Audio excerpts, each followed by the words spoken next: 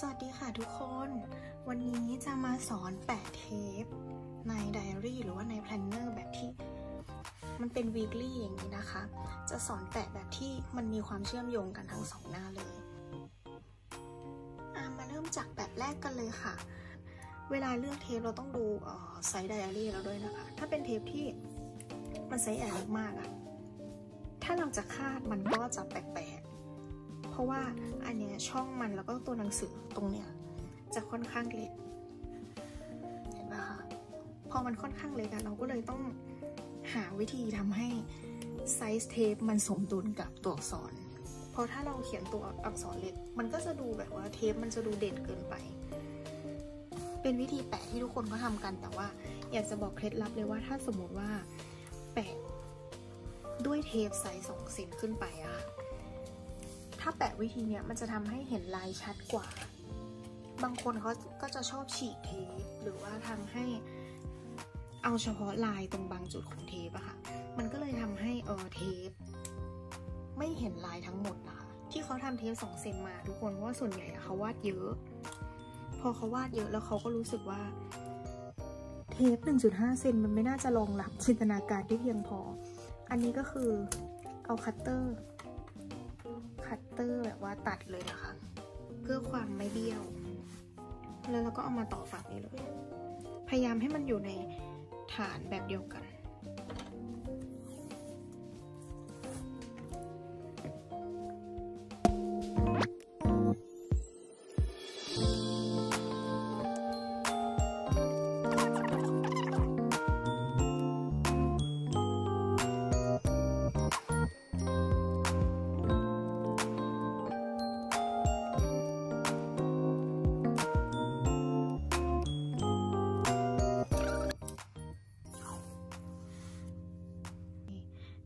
ติดแบบคาดเราต้องติดให้มันเลยออกมาอย่างนี้เลยนะคะ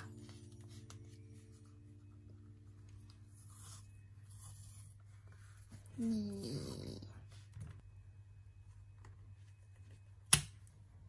พยายามให้มันต่อกันนี้นะคะ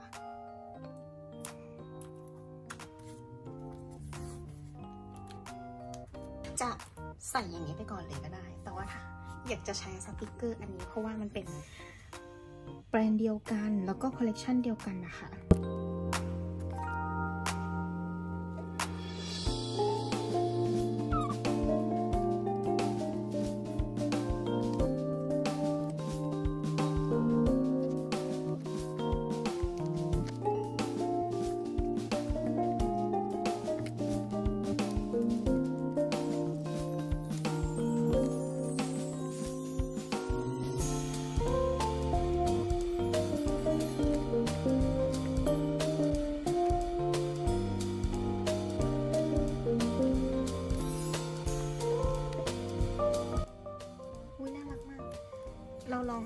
แบบว่าฉีกดูนะคะ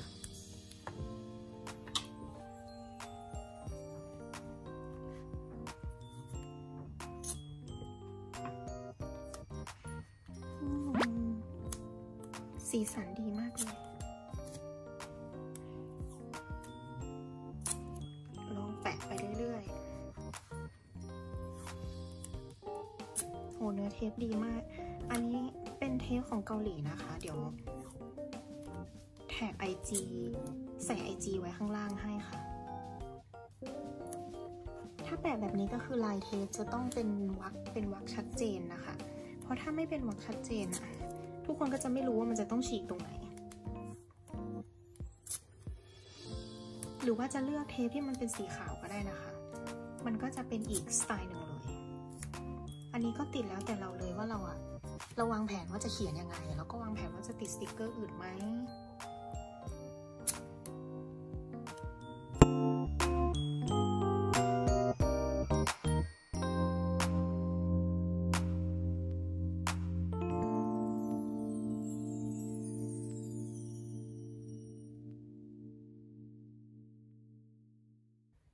อันนี้ตามตรงเลย ไม่รู้ว่าซื้อจากตรงไหน เหมือนเป็นงานที่เทนเฮาส์อะค่ะทุกคนแต่ว่าไม่ได้ไม่ไม่ทราบว่า IG ไหนนะคะทุกคนเราจะต้องแปะเวลาแปะเทปต้องแปะตามสถานการณ์แล้วก็ลายเทปนั้นนะคะ เขาจะแปะเป็นรูปชั้นชั้นวางของ เหมือนเวลาที่ทุกคนไปซูเปอร์มาร์เก็ตอะทุกคนก็จะเห็นชั้นวางของใช่ไหมคะนี่เขาก็จะแปะแบบนั้นเลย หรือถ้าทุกคนไม่มีเทปแบบนี้ ก็อาจจะหาเทปลายอื่นที่เป็นแบบว่า สามารถตัดแบ่งเป็นช่วงๆก็ได้ค่ะ หรือว่าถ้าใครรู้ว่าเทปอันนี้ซื้อมาจากไหนก็แจ้ง IG ไว้ในคอมเมนต์ก็ได้นะคะ แต่ว่าเขาอะไม่ทราบจริงๆ ขอโทษด้วยจริงๆค่ะทุกคน คือมีคนทักมาถามเยอะมากเลยว่าเทปลายเป็นของเป็นของ IG ไหน เป็นของร้านไหน แต่ว่าไม่ทราบเลย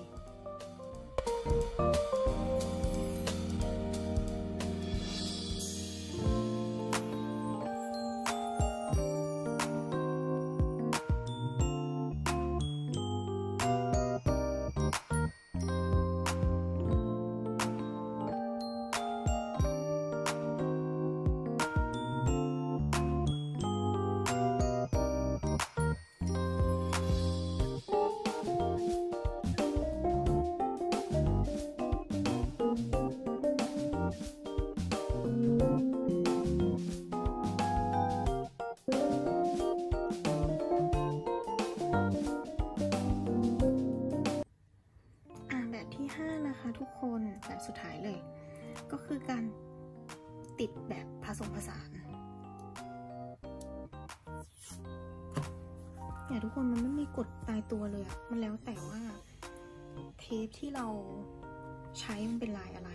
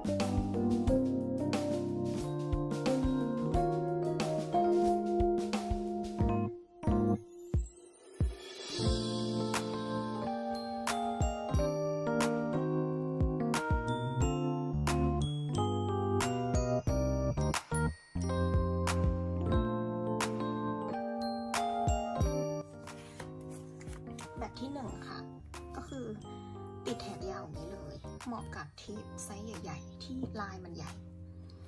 เราจะได้เห็นลวดลายแบบชัดเจนนะคะ อันนี้เขาเอาสติกเกอร์ของ a b a c u s มาติดเพิ่ม เพราะว่ามันเป็นลายที่สดใสมากๆพี่เลยคิดว่ามันน่าจะเข้ากัน อันนี้แบบที่สองนะคะ ติดคาดหน้าอย่างนี้เลย ติดอย่างนี้ แล้วก็เว้นตรงช่องนี้ไว้ไว้จดโน้ตนะคะ แล้วก็เอาสติกเกอร์จากแบรนด์เดียวกันนะมาติดเพิ่มนะคะ ให้มันอยู่ในโทนสีเดียวกัน อาจจะติดเพิ่มมากกว่านี้ค่ะ แต่ว่าขอลองเขียนดูก่อน จะได้รู้ว่าจะติดเพิ่มตรงไหนเพิ่มอีกนะอะต่อไปแบบที่ 3 ก็คือแบบฉีก แบบฉีกแล้วแปะเลย นี่ค่ะ อันนี้ก็คือศิลปรึกเวอร์ เหมาะกับเทปที่มีลวดลายซ้ำๆหรือสีสันสดใสมากๆ อันนี้แบบที่ 4 ค่ะ ก็คือติดแบบชั้นวางของเลย แล้วเราก็จะมาเติมขาชั้นวางของลงไป ตอนที่เรามาเขียนแล้วนะคะ แล้วก็แบบสุดท้ายก็คือแบบที่ ติดเป็นแถบเลย ผสมกับแบบที่ฉีกๆทั้งนี้ทั้งนั้นนะคะ แต่ละการติดนะ ก็คือขึ้นอยู่กับการตกแต่งของทุกคน การเขียนของทุกคน ลักษณะของเทป สีสันของเทป แล้วก็อารมณ์อยากจะตกแต่งของเราในตอนนั้นด้วย ยังไงก็อย่าลืมสำรวจความต้องการ ความชอบของตัวเอง แล้วก็แปะแบบที่มันอาจจะไม่ใช่ห้าแบบเนี้ยทุกคน มันอาจจะเป็นแบบไหนก็ได้ที่ทุกคนชอบ ก่อนที่มันจะทำแล้วออกมาสวยอะเราก็ต้องทำแล้วมันออกมาเละก่อนนะทุกคน ใครๆก็ต้องเคยเละก่อน ยังไงก็ค่อยๆ พยายามทำไปอย่างสม่ำเสมอนะคะ แล้วก็อย่าลืมฝากกดติดตาม กด subscribe แล้วก็กดกระดิ่งให้ช่องนี้ แล้วก็อย่าลืมกด follow IG Maruku Paper ด้วยนะคะสำหรับวันนี้ไปแล้วค่ะทุกคน บ๊ายบายค่ะ